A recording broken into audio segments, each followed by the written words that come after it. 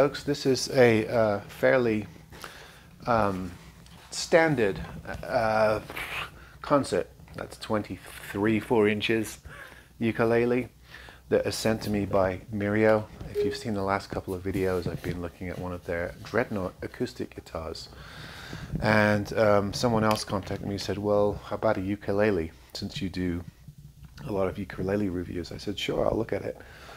When I, my first impressions, I'm going to just do one video on this for the good reason that it doesn't really need any setup at all. It's, it's um, arrived in great playing uh, condition, so I don't need to do, my impressions and my review can be all the same uh, video, which is, which is great. Uh, my first impression when I saw this top is that, wow, that reminds me of a few other things. I can't remember the exact brands, but if you look at that etched sound hole, I'm pretty sure I've seen that exact design on two, three other brands uh, for spruce play uh, top models. Uh, also with the Sapele back and sides, very slightly arched. Uh, and the sort of white creamish ABS binding and the double purfled edges. So my guess is that this, these are made um, in pretty big runs and then different companies buy them off and stamp them. The one thing different about this ukulele than the, the others that I've seen with this exact design and this exact look and the same specs uh, for the top and for the fretboard as well is that it has the Mirio uh, signature shaped headstock, which I kind of like. It's not quite as curved and as pronounced here as the guitar. It's a little bit more subtle. But it's different. It's not your bog standard shield or squared off Martin style headstock. They're going for um, their own look, which uh, I can appreciate. I think it's quite nice. Um, the logo is a bit different on the guitar. It goes left to right, and this one is across the top. Uh, slightly different. This one is etched as well. That one is sort of um, gold, gold uh, lasered. I don't know if it's lasered or not. Um, but anyway, I think the look of the headstock is quite nice. They've matched the um, on the back and sides uh, with the facing on the headstock. Um, you know, uh, some standard stuff on here. Um, this might actually be bone, this nut and saddle. It certainly feels like bone. Might be very hard plastic, but it feels like bone. It has a rosewood fretboard. I thought it would be tackwood like the guitars, but it's not. It's actually rosewood with the mother of something um, fret markers on there. Uh, one tip for Mirio, the designer, put them on the sides. Um, guitar players like that. When you're playing guitar or ukulele, you're looking down at the side of the neck. You're not really looking at the front. Um, so the fret markers on the side right here are probably more important than having them here even. Um, other things to note, um, the keys are fairly standard closed machine geared keys, but with slightly bigger black buttons, so they're a little easier to grab, and these are um, a nice sort of acrylic style black, maybe plastic uh, tuner buttons here, uh, which are easy to grab and, and tune. The tuners feel pretty good. You can see the label still on it, straight out the box. Um, the action is really decent on this. I don't really have to do anything. I just tuned it up. They're not using Aquila strings, which is um, kind of interesting. A lot of companies do use Aquila, or Aquila, however you say it.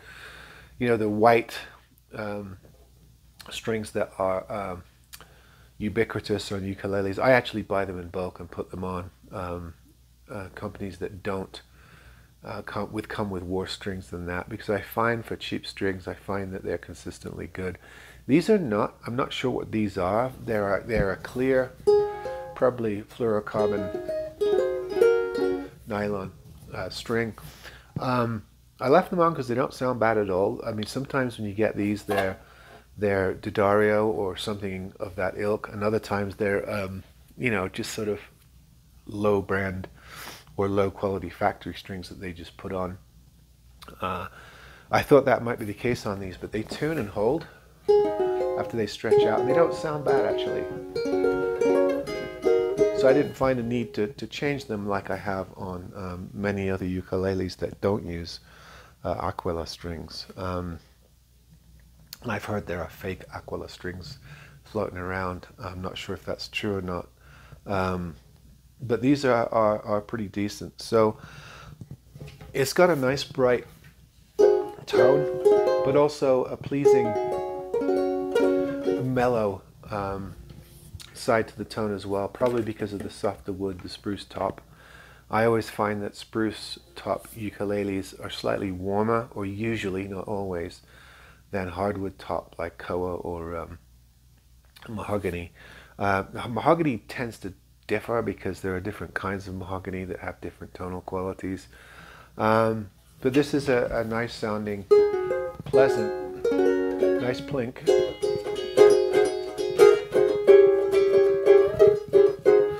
Um, yeah, I, I, I'm, I did not check actually what these sell for. The guitar, guitar sell for 106. I think these are around 40 $45 uh, on these. Um, I will I will correct that if I'm wrong uh, on the screen. It'll flash up somewhere around here. Um, and I think it's a really decent starter uke. And what makes it even better, uh, and I'm glad to report this because you know how I feel that companies who don't do this, reasonably padded, maybe a millimeter or two, uh, black gig bag with all the accoutrements you need. You've got a strap, you've got a, a tune um, probably give you a polished cloth. Yeah, there's polished cloth. Probably some picks, which I don't know why people put guitar picks in ukulele packages, but they do.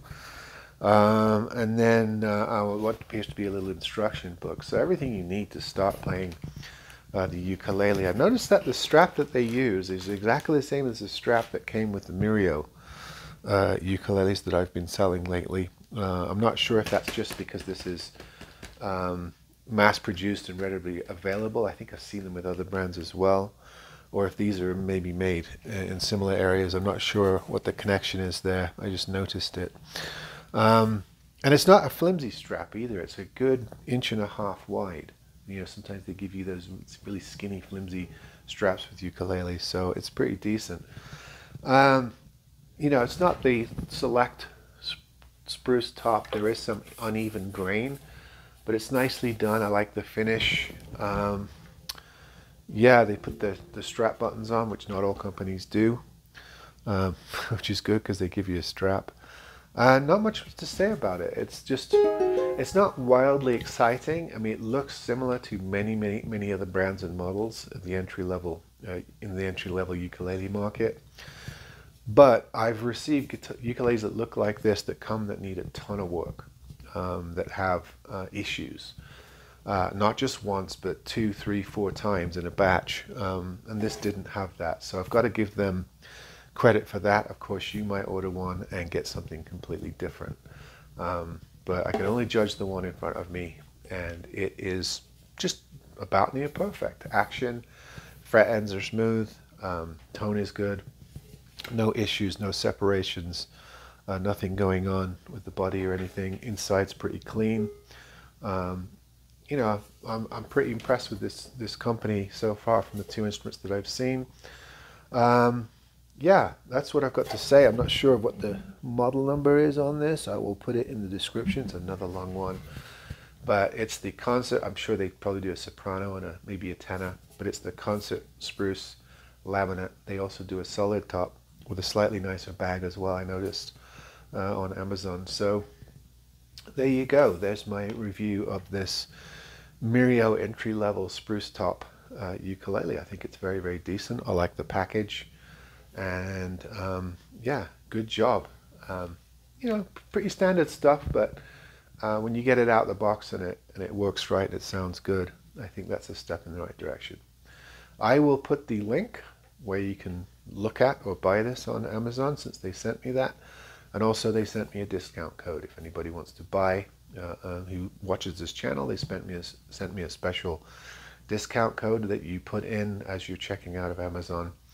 And I think it's 10% or something like that. And on a $40 ukulele, that's $10. No, it's not. It's $4, which is not nothing.